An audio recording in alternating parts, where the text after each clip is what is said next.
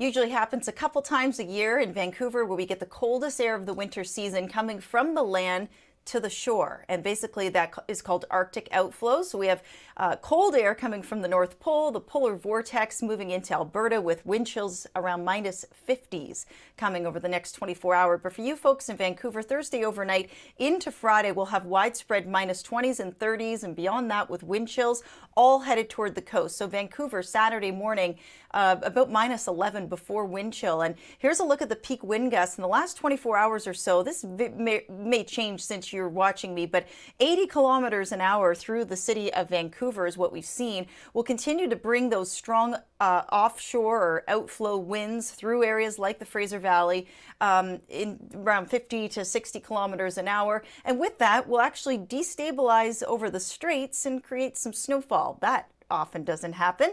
But in and around Nanaimo and Parksville and Duncan in those regions, we could see upwards to 5 to 15 centimeters of snow through your Friday. If we look ahead to the weekend, it'll still be cold, very cold, but not as cold. But Friday morning across the interior feeling like minus 30.